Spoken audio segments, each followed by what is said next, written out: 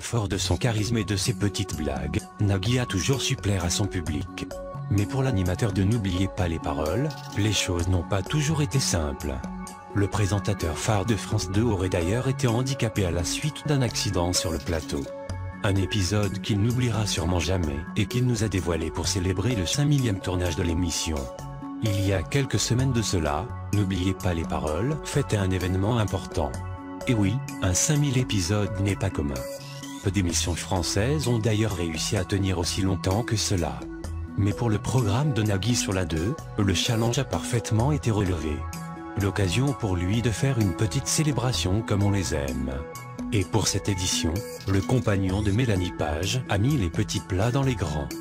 Pour célébrer cet événement important, Nagui a en effet fait appel à deux grands maestros de l'émission. Ces derniers étaient présents dès le début des tournages. Et leur parcours a été quelque peu différent de ceux que l'on connaît actuellement. En effet, la règle du maestro n'existait pas encore à une certaine époque. Bien que de nombreux duels entre d'anciens gagnants aient déjà été organisés par la production, cette édition est particulière. Et pour cause, les convives de Nagui ont un palmarès surprenant. Parmi les invités de Nagui lors de cette célébration, Margot également connue sous le surnom de la reine. La maestro avait réussi à participer à 59 tournages de l'émission. Sa cagnotte quant à elle s'est élevée à 530 000 euros. Et son adversaire pour l'occasion n'est autre que Kevin. Le maestro de 43 parties a accumulé une cagnotte de 410 000 euros. Et le duel a permis à l'animateur de récolter une belle petite somme pour une belle cause. Les fonds ont notamment été reversés pour une association aidant les personnes souffrant du fatigue chronique. En plus de ce duel assez impressionnant entre les maestros, Nagui a fait quelques révélations sur l'émission. Des anecdotes auxquelles on ne s'attendait pas forcément. L'animateur nous a notamment rappelé les débuts de l'émission. Pour ceux qui ne s'en souviennent pas ou qui ont commencé à suivre le programme récemment, sachez que le concept était quelque peu différent à l'époque. Rappelons qu'à l'époque, un seul candidat était présent sur le plateau. Seul à concourir, il avait toutefois quelques opportunités. C'est notamment le cas avec les deux jokers présents sur le plateau. Ces derniers aidaient les candidats de Nagui lorsqu'il en avait besoin. Une chance d'aller au bout de la partie avec le maximum de points.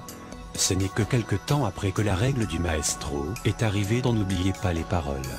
Un changement radical dans l'organisation de l'émission.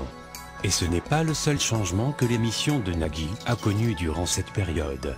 Le programme de France 2 a vu l'arrivée d'une collaboratrice de renom. Un recrutement qui n'était pas sans raison. En effet, Cruella n'était pas présente au début de l'émission. L'acolyte de Nagui n'est arrivé que quelque temps après, à la suite d'un accident dont l'animateur avait été victime. Lors des premiers tournages de N'oubliez pas les paroles, Nagui était le seul aux commandes. En cas de faute de candidat, c'est donc lui qui faisait les corrections. Il était également celui en charge d'écouter s'il s'agissait d'une bonne réponse ou non.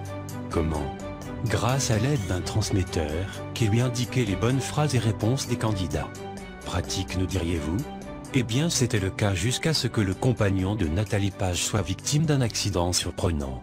Un technicien que je souhaite ne plus jamais croiser de ma vie, m'a envoyé du millertz dans les oreilles, avait raconté Nagui. Un incident qui l'a mis dans tous ses états. L'animateur aurait d'ailleurs hurlé de douleur sous le coup de ce bruit. L'animateur décrit l'accident comme un coup de couteau dans ses tympans. Les séquelles que cela lui a laissé a d'ailleurs été très important.